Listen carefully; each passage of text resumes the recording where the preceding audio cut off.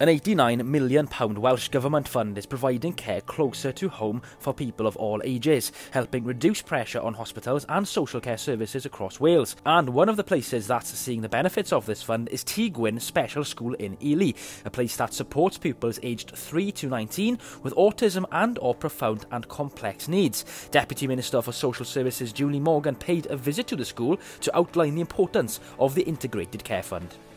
I think the particular benefit here is in Tŷ is obviously for um, uh, children who um, are disabled. It's really important that you bring together all the different range of professionals who work with them in one place and that they have you know the best possible experience that they can during their time in school. Education is here because the children are being uh, taught here. You've got health here because there are uh, lots of nurses here to help with the medical conditions of course that the children have. And then you've got the, um, uh, the staff who are working with them as they progress to become adults. And one thing this new project does particularly well is bringing people from a range of professional disciplines to lend a hand. What it's seeking to do is spread funds and good practice and, and collaborate between health, social care, education, which is why, of course, we're at a education establishment this afternoon at Tŷ It's bought three additional classrooms, it's bought a soft play area,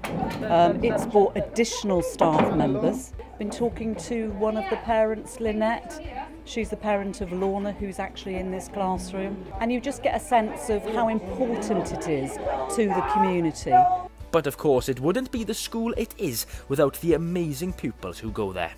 Tŷ Gwyn is special because of its pupils. So a lot of our pupils, learning for them maybe just to communicate the fact that they need to go to the toilet. So there are so many different levels of achievement in this place. Those really small steps are huge to those young people and to their families. It's more than just a, an education in the technical mainstream schooling sense. Um, so this this extension, this extra part now of Tŷ Gwyn, this project, where you've got the health and the social all under one roof. So you've got those professional um, conversations happening on a, on a regular basis. And head of Tŷ School, Diane Stones, believes this fund will further help the school ease the pupils' transition into adult life.